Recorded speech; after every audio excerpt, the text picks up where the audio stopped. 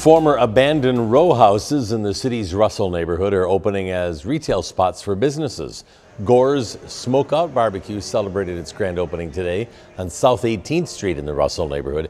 It's the first of two participants in the One West Retail Accelerator program for community chefs looking to grow their business in Louisville's West End.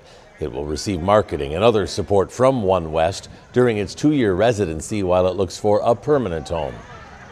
The West End has been a food desert for a number of years, and so decades actually. And so we really wanted to affect change and respond to the community's request. One West is accepting applications for the other retail space and expects to name a second tenant in the coming months.